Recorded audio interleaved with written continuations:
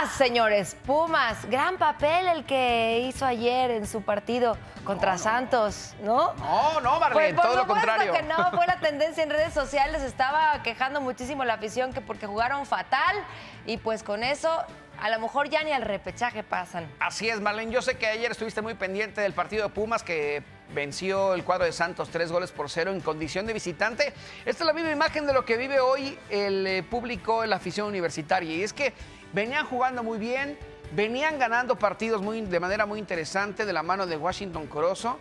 Pero ahora Pumas perdió como local 3 por 0 y obviamente en redes sociales, incluso en el estadio, reclamos por la forma en la que cae el equipo de Lilini, que todavía salió a decir, por favor confíen en nosotros, vamos a calificar. Pero depende de otros resultados. ¿Qué va a pasar? ¿Tienen que, ¿Qué tienen que lograr para poder pasar al repechaje? Primero tienen que ganar la Cruz Azul el próximo domingo en Ciudad Universitaria, así que ojo con eso. A ver, vamos a leer los tweets, te invito. amigo Dice Luis. Licón 83, la mejoría que tuvo Pumas es gracias a la llegada del doctor Mejabarón, sin duda, y seguirá siendo en próximos meses. El siguiente paso es despedir a Lilini, continuando con todos los disque refuerzos. El futuro no puede ser peor que el presente, un partido más y termina la vergüenza. Todavía tiene Pumas esperanza. Lo que les puedo adelantar es que el Tuca Ferretti va a regresar pronto al cuadro universitario.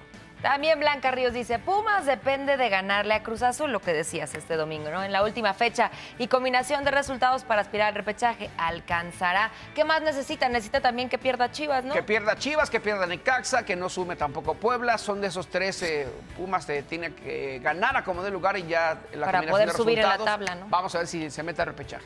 Dice Jorge Sanz, es perfecto, mis Pumas necesitan de este tipo de situaciones para darse cuenta de los bodrios que tienen como futbolistas. Tómala, Barbón. Ojalá sean los últimos partidos de Fabio, Corozo, Batocchio, Velarde, Mozo Saucedo y los canteranos apadrinados. Solo aquí me quedaría nada más tacharía Corozo. Creo que Corozo ha tenido buenos partidos con el conjunto Auriazul. Ayer estaban muy enojados la afición del Pumas, con Sí. toda razón, porque si tienes tanta pasión por este deporte y estás apoyando a tu equipo y van y la riegan de esa manera, ¿no? Dice Stendhal Syndrome, dice Pumas, una ilusión. Ahora esperar que Chivas, San Luis, San Luis no. Y Pachuca no sumen ganarle a Cruz Azul. Muy difícil, pero no imposible. Con San Luis sí no se metan. Bueno, te voy a decir algo, y no es por ser mala onda con los aficionados de los Pumas. La realidad de este equipo es no le va a alcanzar quizás.